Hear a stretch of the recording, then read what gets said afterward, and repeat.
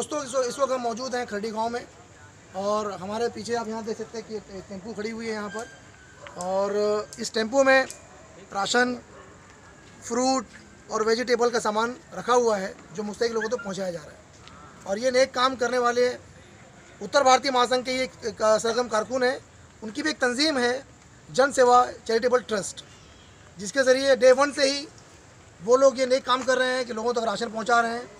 Vegetable पहुँचा रहे हैं और रमज़ान महीना शुरू हुआ है तो फ्रूट पहुँचाने का काम भी जारी है। उसके अध्यक्ष हमारे साथ यहाँ मौजूद हैं रिजवान शेख साहब।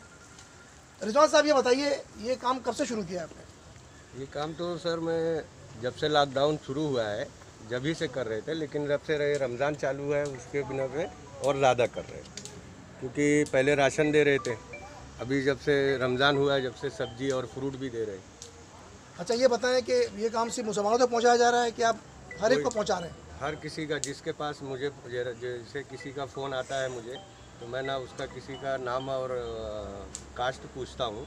बस ये है कि वो ज़रूरतमंद है उस तक हमारा काम है पहुँचाने का।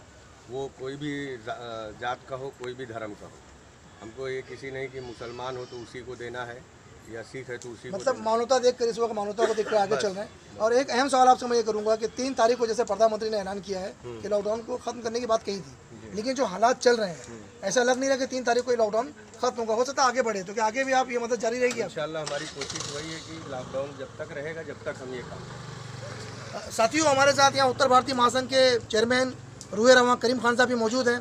खान साहब ये आपके बहुत ही जुझारू साथी यहाँ मौजूद हैं बहुत नए काम कर रहे हैं। कैसा लग रहा है आपको? मुबारकबाद के मुस्तक है। और सभी को मिलकर इनको मुबारकबाद देना चाहिए। माशाल्लाह, जिस दिन से लॉकडाउन शुरू हुआ है, मैं उसी दिन से इस नौजवान को देख रहा हूँ। सलाम है इस नौजवान के जज्बे को और इस नौजवान को, माशाल्लाह। ये उसी दिन से डे वन से हमारे साथ साना बसाना राशन हुआ और आज जब से रमज़ान चालू हुआ तब से बेचारा फ्रूट वेजिटेबल उसमें आलू, बटाटा, यानी हर एक चीज़ बांटने की कोशिश, हर मुस्तक तक बांटने की कोशिश कर रहा है, माशाल्लाह। सभी को बढ़ चढ़ करके ऐसे नौजवानों का साथ देना चाहिए। मैं समझता हूँ आज हालात बहुत ख़राब है। रमज़ान का महीना है, बरकतों का महीना है। अगर सभी लोग मिलकर के साथ देंगे तो मैं समझता हूँ ना ये नौजवान रुकेगा ना हमारे जैसे लोग रुकेंगे अच्छा।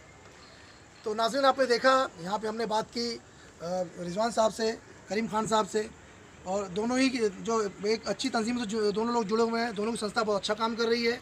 इनकी तो संस्था है ही जो मैंने आपको आपको बताया यहाँ पर, लेकिन साथ साथ ये उत्तर भारतीय महासंघ से भी जुड़े हुए हैं। और आप देख सकते हैं यहाँ पीछे टेंपो खड़ा हुआ है। ये कहीं से भी सामान तकसीम करते हुए यहीं पर आए हैं। तो हमारा ये चैनल एलान टाइम्स, जो इस तरह की खबरों को आगे बढ़ाने में, आप तक पहुँचाने में कारगर साबित हो रहा है। हमने ये खबर आप तक पहुँचाई कि शहर में आज भी ऐसी तंजीमें मौजूद हैं, जो रमज़ान महीने में फ्रूट भी आप तक सप्लाई करने का काम कर रही हैं। राशन ही पहुँचाया जा रहा है। यहाँ तक कि वेजिटेबल भी पहुँचाने का काम किया जा रहा है, ताकि जो लॉकडाउन के चलते, जो आज पैंतीस दिन हो चुका लॉकडाउन का जो जिन लोगों तक सब्ज़ी तरकारी नहीं पहुँच रही है, राशन नहीं पहुँच रहा है, रमज़ान महीना है, अफ्तारी और शहरी के लिए फ्रूट नहीं पहुँच रहा है, वो पहुँचाने का काम ये नौजवान कर रहे हैं। बहुत ही मुबारकबाद के मुस्तक हैं। हम अपने चैनल एलान टाइम्स और शाप टीवी की तरफ़ से इन्हें सलाम पेश करते हैं और हमारे साथी जफ़र साहब जो इस वक्त कैमरा संभाले हुए हैं, उनसे गुजारिश करेंगे कि वो दिखाएँ कि यहाँ पर देखिए बहुत सारे ये खजूर के बॉक्स यहाँ रखे हुए हैं और फ्रूट्स हैं, आगे वेजिटेबल है। काफ़ी हद तक सामान खाली हो चुका क्योंकि तकसीम करते हुए आए हैं। यहाँ ये देखिए बहुत सारी चीज़ें हम आपको दिखा सकते हैं। तो ये सारा काम देखिए नौजवान आपको बताएँगे कि इसमें क्या क्या अभी और मौजूद है। अदरक। देखिए अदरक भी मौजूद है हरा मसाला जिसे कहते हैं बहुत ज़रूरी है। रमज़ान महीना है अदरक है लहसन है वेजिटेबल में। कलिंगड़। तरबूज है केला है। टमाटर। तो मतलब ज़रूरत की वो सारी चीज़ें जो लोगों तक पहुंचनी चाहिए मौजूद है यहाँ पर। एक अच्छा काम सराहनीय काम। हम अपने चैनल के ज़रिए से और उन एन तक ये बात, ये पैगाम पहुँचाना चाहते हैं कि आप भी आगे आइए।